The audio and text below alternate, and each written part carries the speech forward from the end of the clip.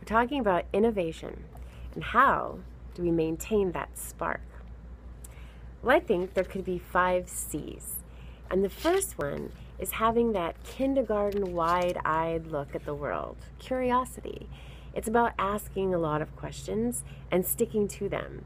It's about wanting to find out what other people are up to and how they're doing things. It's also about wanting to make things better or even prettier. Curiosity is a huge factor in, in innovation, I think. And the second is curation, which is that hunting and finding and contextualizing and adding value. It's that seek, sense, and share that Jarche talks about. I try to curate something every day because I want to fill myself up with inspiration. That's the role curation plays. And the next one is more about people, it's about connection.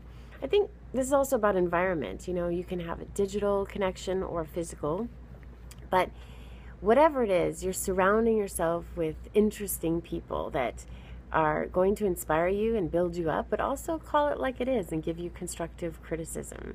So I think connection is extremely important and often leads to collaboration, really working together on a creative project, combinatorial creativity.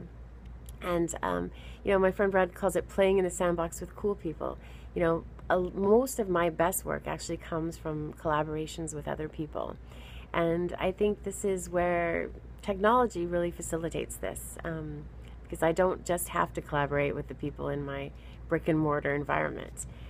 And finally, creation, just doing it, um, making time for it every day, the white space that you need to create. And even if it's just a little snippet of your day, it could be a photo challenge or a sketch challenge or a little blog post.